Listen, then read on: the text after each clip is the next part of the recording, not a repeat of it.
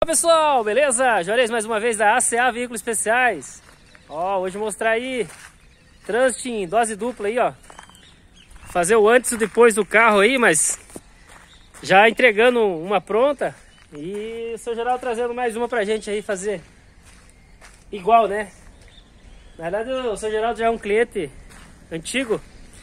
Já fiz várias para ele ano passado e esse ano a gente está fazendo umas, umas trânsito agora zero quilômetro. E aí, seu Geraldo?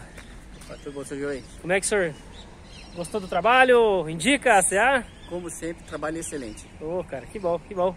Mostrar o... o seu Geraldo veio lá de São Paulo, lá de, lá de Itapevi, para fazer os veículos aí com a gente, ó. A gente fez para ele, caracterizou 16 lugares esse carro, onde ele vai usar acessibilidade para dois cadeirantes. É...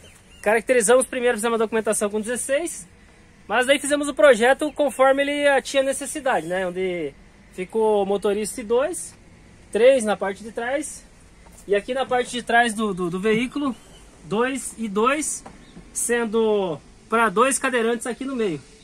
Fixação do teto, o carro ficou show de bola. Beleza, pessoal? Você que precisa de transformação, já sabe, ACA Veículos Especiais em São José dos Piais. Venha, terei o prazer em atendê-lo. Aquele abraço.